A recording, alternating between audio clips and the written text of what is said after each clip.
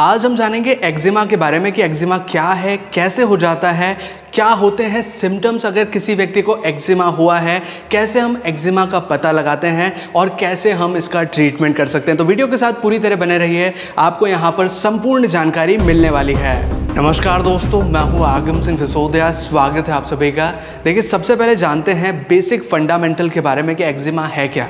देखिए, ये एक ऐसी स्किन कंडीशन है जिसमें कि हमारी स्किन ओवर सेंसिटिव हो जाती है किसी सब्सटेंस के प्रति, किसी केमिकल के प्रति या किसी इन्वायरमेंट के प्रति।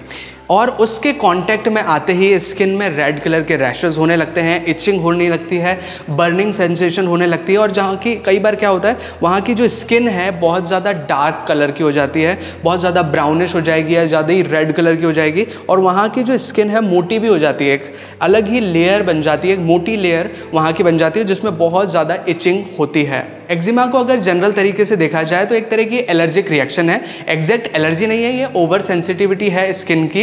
लेकिन ये एलर्जी की तरह है, जैसे कि हम कुछ खट्टा खा लेते हैं, कई लोगों को होता है ऐसा कि कुछ खट्टा खा लिया, उनको सूजन आ गई, किसी चीज़ के कॉन्टैक्ट में गए, उनको वहाँ रैशेज हो गए तो उसी तरह की ये कंडीशन है एक्जिमा लेकिन ये एग्जैक्टली एलर्जी नहीं है, ये है over sensitivity of the skin तो अगर आपको इस तरह के सिम्टम्स आ रहे हैं तो अब आपको एक डॉक्टर को दिखा लेना चाहिए।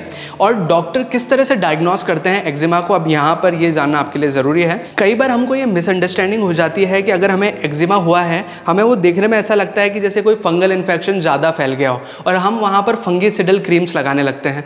लेकिन ये सही नहीं है, क्योंकि एक्जिमा फंगल इन्फेक्शन से अलग होता है। ये एलर्जिक रिएक्शन से भी अलग है, ये फंगल इन्फेक्शन से भी अलग है। इसका ट्रीटमेंट एक अलग तरीके से किया जाता है, जो कि अभी हम आगे जान जानने वाले हैं। एक्जिमा को बेसिकली नॉर्मल सिम्टम्स को देखकर ही डायग्नोस किया जा सकता है। बड़ी आसानी से डॉक्टर जिस सिम्टम्स को देख करके आपको रैश हो रहा है, आपकी जो स्किन है वो मोटी हो गई है, या फिर उस पर ब्लिस्टर्स आ गए हैं, इस तरह के सिम्टम्स देख करके डॉक्टर आसानी से एग्जामाइन कर लेते हैं कि ये एक्जिमा हो सकता है। अब यहाँ पर एक और इंपॉर्टेंट चीज़ है जो कि आपके लिए जानना ज़रूरी है कि एक्जिमा कॉन्टेगुअस नहीं होता। यानी कि ये पर्सन टू पर्सन नहीं फैलता है, ये कोई छूत की बीमारी नहीं है, ये स्किन की ओवर सेंसिटिविटी है, जो कि हमारे इम्यून सिस्टम के हाइपर एक्टिव होने की वजह से हुई है। इसमें होता क्या है, जब भी हमारा इम्यून सिस्टम यानी कि हमारी प्रतिरोधक क्षमता किसी ऐसे तत्व के कांटेक्ट में आती है, जिससे उससे लगता है कि ये हमारी बॉडी के लिए हार्मफुल हो सकता है तो वो क्या करती है, हमारी इम्यूनिटी उस सब्सटेंस के प्रति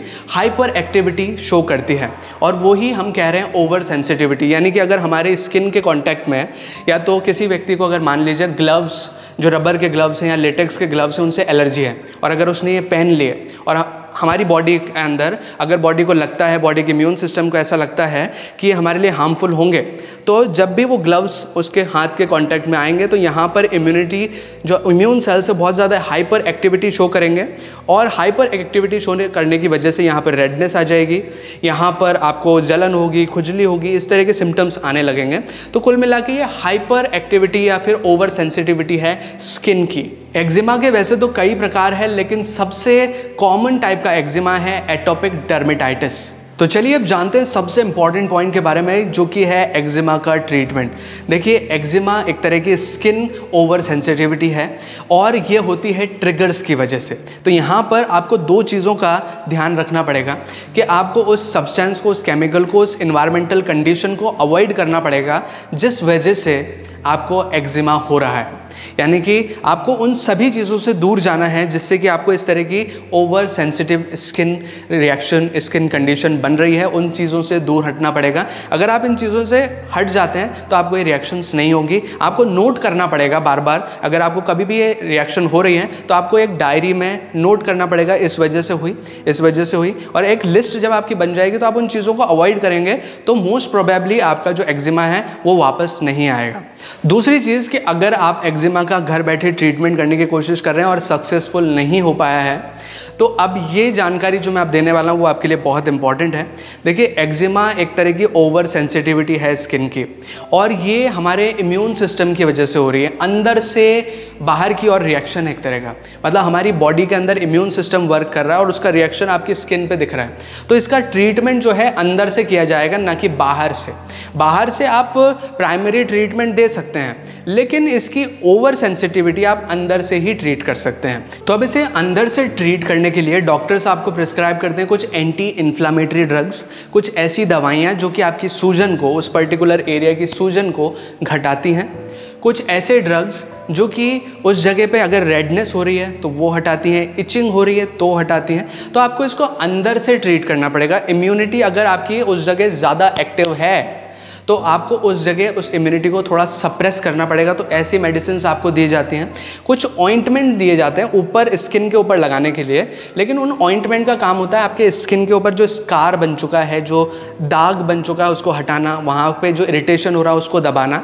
मेन काम इस तरह से किया जाता है। मतलब ये एक मल्टी मेडिसिन कॉन्सेप्ट है यहाँ पर। मतलब बहुत सारी दवाइयाँ आपको एक साथ लेनी पड़ेगी। अगर आपने उस जगह रैश हो रहा है, अगर उसको ज़्यादा खुजा लिया, ज़्यादा आपने स्क्रैच कर लिया तो क्या होता है? कई बार आपको वहाँ पर इन्फेक्शन भी देखने मिलता है। तो इसके लिए या तो एंटीबायोटिक्स या एंटी फंगल मेडिसिन भी दी जाती हैं। डिपेंड करता है किस तरह का इन्फेक्शन है।